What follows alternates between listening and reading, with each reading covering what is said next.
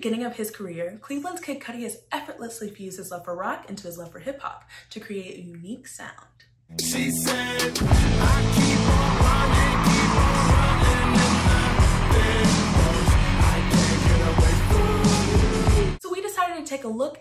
Kid Cudi's rock influences.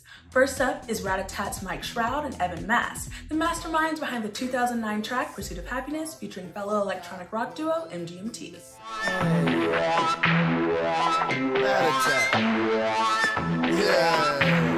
With layered synths and epic guitar solos, the track blends an ethereal electronic sound with fundamental rock, making it one of Cudi's most popular songs. I'll be fine once I get it. I'll be good. good. He just can't get on a stage unless he performs Pursuit of Happiness, like the crowd will riot. they became frequent collaborators of Cudi's, aiding in the transformative sound of Man on the Moon with Alive. Every time the moon shines,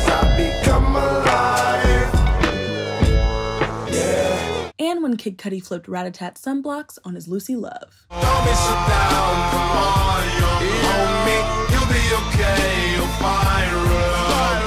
On his sophomore album, Man on the Moon 2, Cudi doubled down on the rock influenced sound with a number of tracks, like the anthemic REVOFEV, which features a sample from 70s Greek rock band 2002.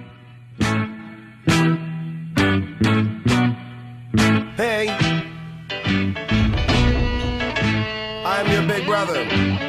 And the aforementioned Kanye West assisted pop rock ballad, Erase Me.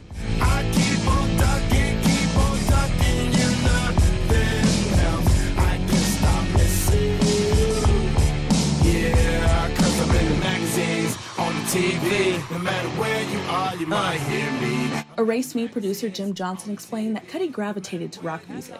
I played him a couple of tracks and decided, let me just play him this batch here and see. And he really liked this one that had a lot of rock influence, you know? He was all open to do it and killed it. The haunting 2010 track Maniac used rocker St. Vincent's vocals from her 2009 cut, The Strangers.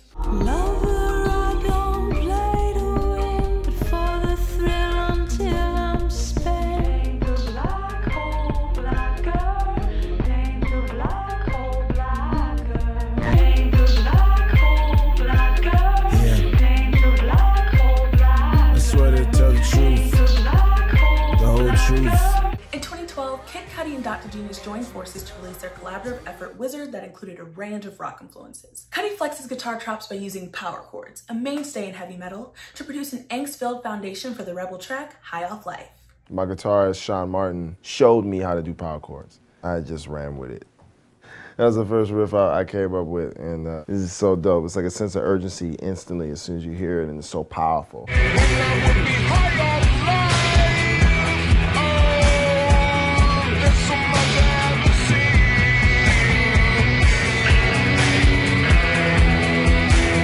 MGMT, Familiar Faces from Pursuit of Happiness, served as a source of inspiration for the 2012 electronic rock album.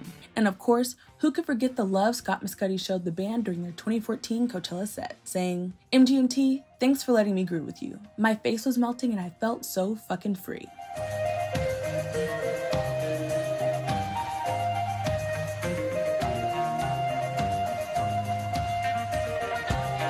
Potentially Wizard's greatest influence was one of Cudi's faves, 90s cult favorite Nirvana, which Genius News touched on in August 2019. Cudi and Dot covered the band's rendition of Where Did You Sleep Last Night, hoping to follow in the footsteps of Nirvana's final album, In Utero. My girl, my girl, don't lie to me. Tell me where did you sleep last night? Trying new things pushing the envelope, pushing boundaries. Kurt has always been an inspiration with all that.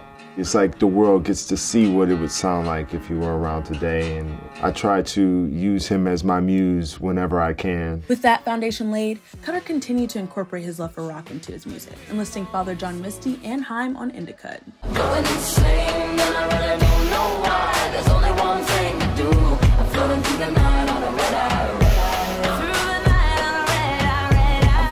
Doherty's most notable forays across genres was 2015's Speedin' Bullet to Heaven, a venture away from the hip hop fusion of his past to embody a more traditional rock sound. The album received mixed reviews, but showed an evolution in Cudi's technical skills.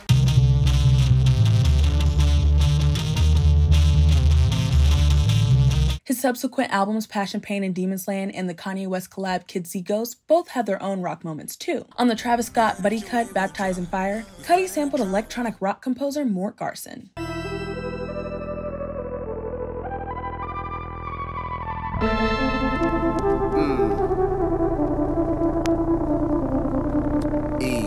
In the early 90s rock band, Crash Test Dummies may have influenced the rapper's signature hums heard throughout his career. Their album, God Shuffled His Feet, was his first music purchase. He said that it was from when the had smashed his soul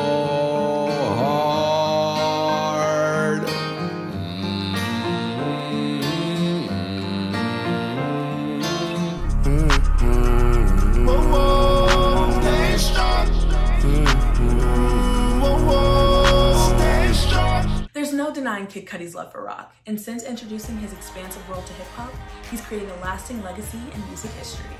What did we miss? Let us know in the comments. I'm Delisa with Genius News, bringing you the meaning and the knowledge behind the music. At home. What songs can we expect to hear tonight? The good ones. Such as? The really good ones.